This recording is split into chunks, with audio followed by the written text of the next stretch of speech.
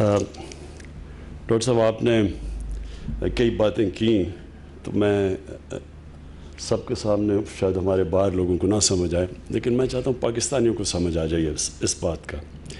देखिए हम नमाज़ जब पढ़ते हैं तो हम अल्लाह से सिर्फ़ एक चीज़ मांगते हैं कि अल्लाह उनके रास्ते पे लगा जिनको तूने नेमतें बख्शे।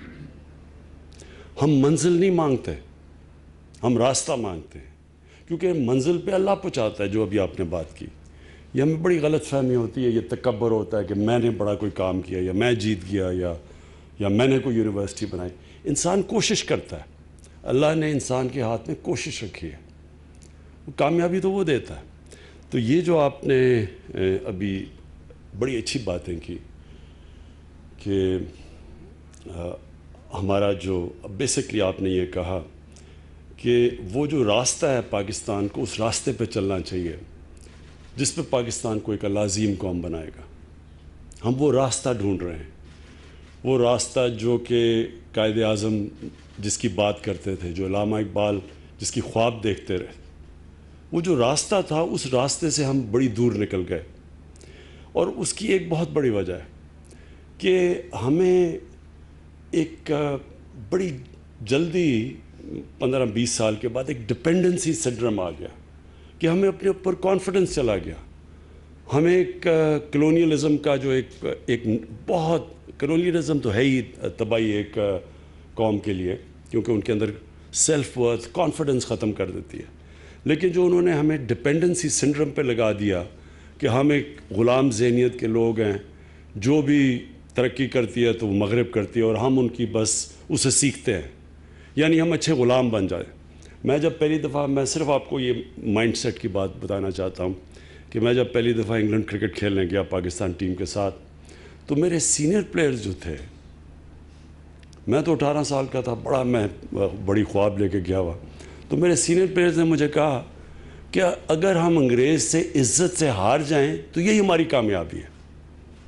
यानी वो इतना एक कॉम्प्लेक्स था कि हम उनसे जीत ही नहीं सकते।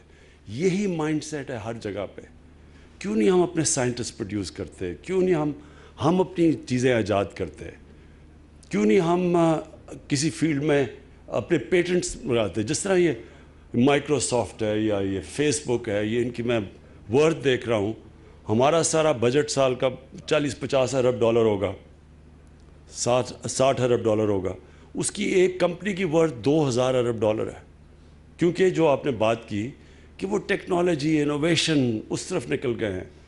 और हम एक, बस जो वहाँ से हमें चीज़ आती, हम कॉपीज़ बन गए हैं। हम कॉपी करते हैं।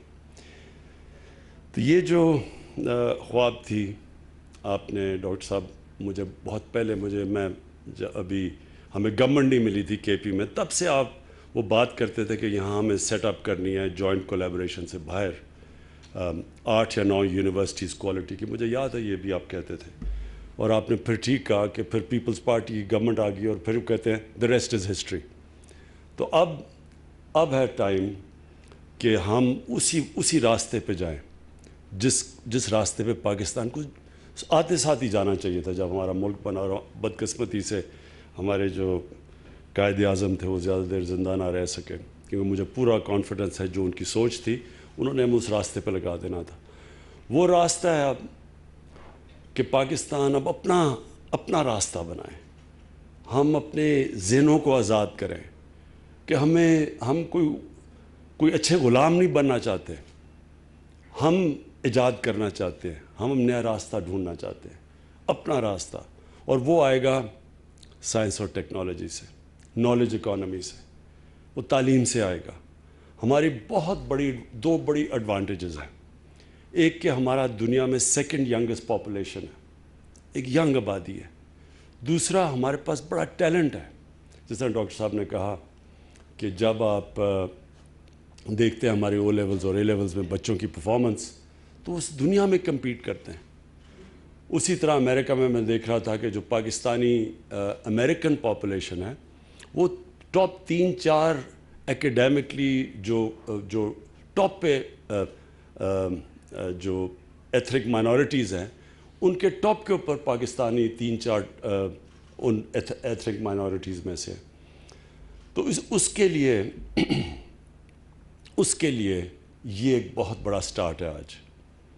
ये जो फॉ हॉक शुले इसको ज़रा लोगों को यूज़ टू होना पड़ेगा फॉ फॉ हॉक शुले लेकिन ये बड़ी टॉप उनकी इंजीनियरिंग यूनिवर्सिटीज़ हैं। हैं इंस्टीट्यूट्स हैं ऑस्ट्रिया में।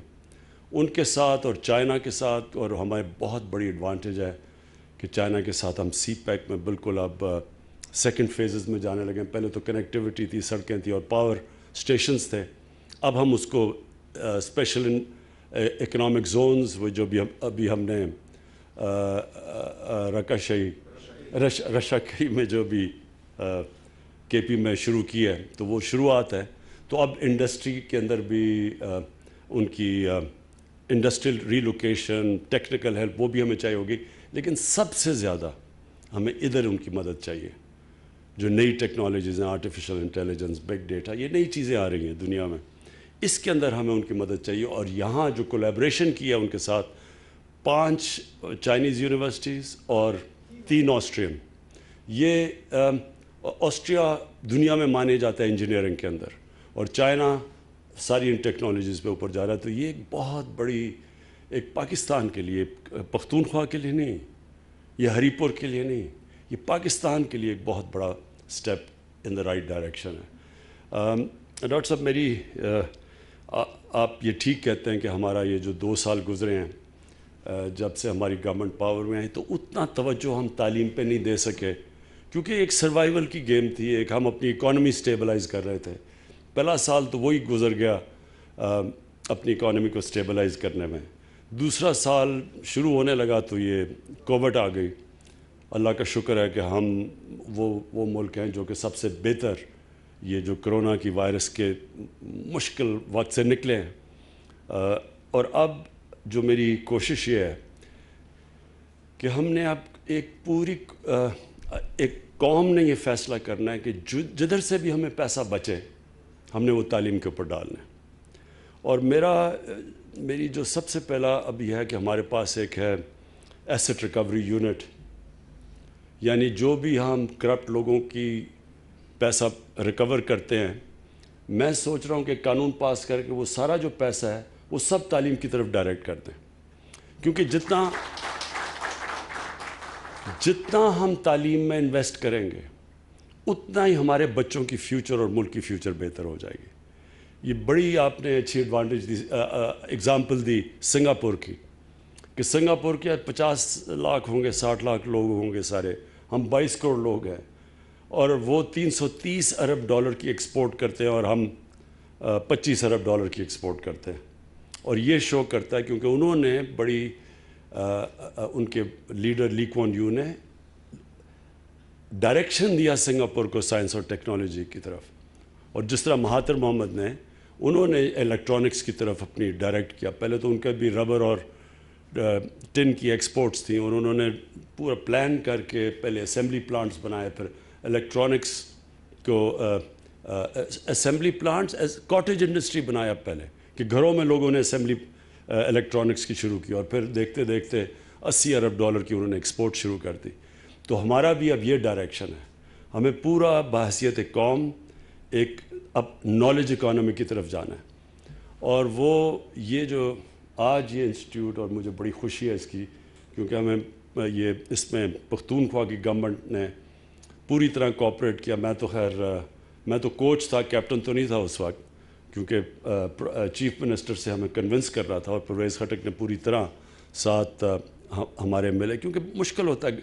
इतने ज़्यादा, पहली बजट छोटे होते हैं, उस बजट्स में से इतनी ज़्यादा डिमांड्स होती हैं।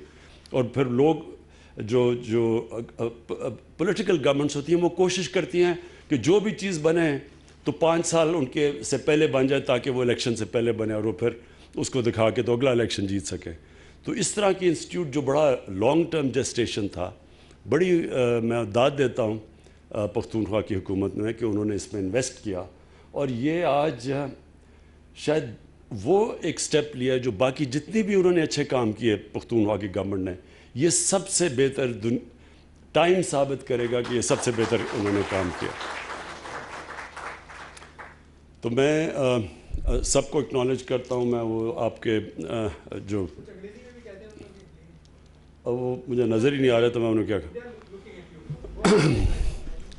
um, मुझे भूल ही गई अंग्रेज़ी I want to uh, take this opportunity to thank uh, uh, people sitting in China and in Austria. I want to thank them for the cooperation and the way they have uh, uh, co- uh, helped us in setting up this institute and for future cooperation.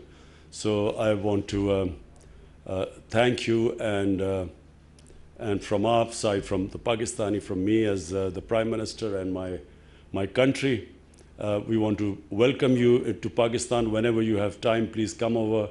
You will be our honored guests. Thank you.